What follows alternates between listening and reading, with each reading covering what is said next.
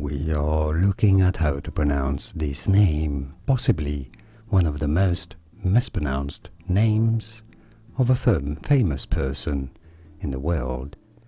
So how do you say it? In Britain, in the UK, it is said as Van Gogh, Van Gogh. Now, in America, in the US, it is generally pronounced as Van Gogh, Van Gogh, but he was a Dutch painter, remember?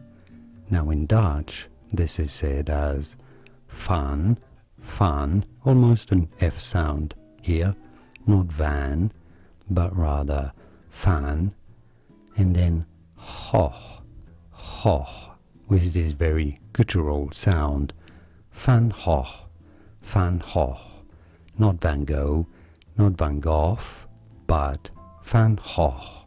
And now you know. More videos here on how to pronounce more interesting names that many mispronounce. You won't after watching those. I'll see you there to learn more. Thanks for watching.